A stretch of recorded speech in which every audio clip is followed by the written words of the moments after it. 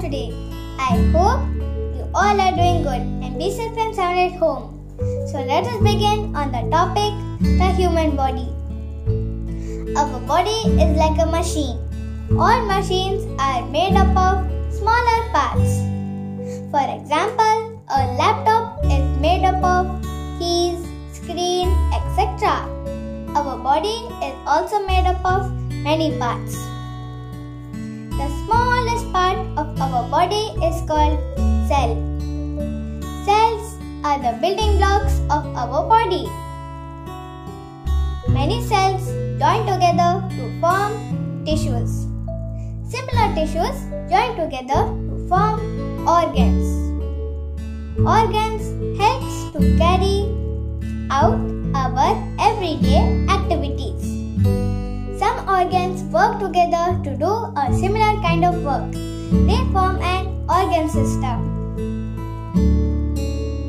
All the organ system together make up an organism such as an animal or a human being. An organ system is made up of various organs that together perform one big function. First, we will see the skeletal system.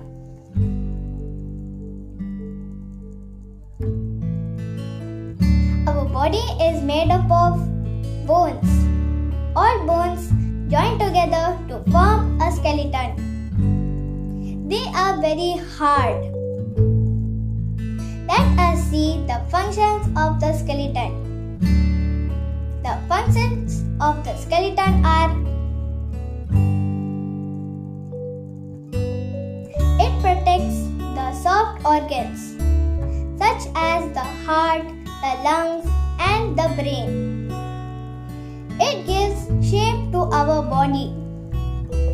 We are able to stand straight and walk due to our skeleton.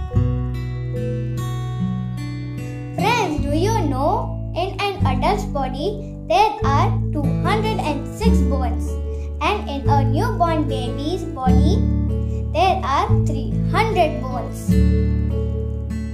Thank you.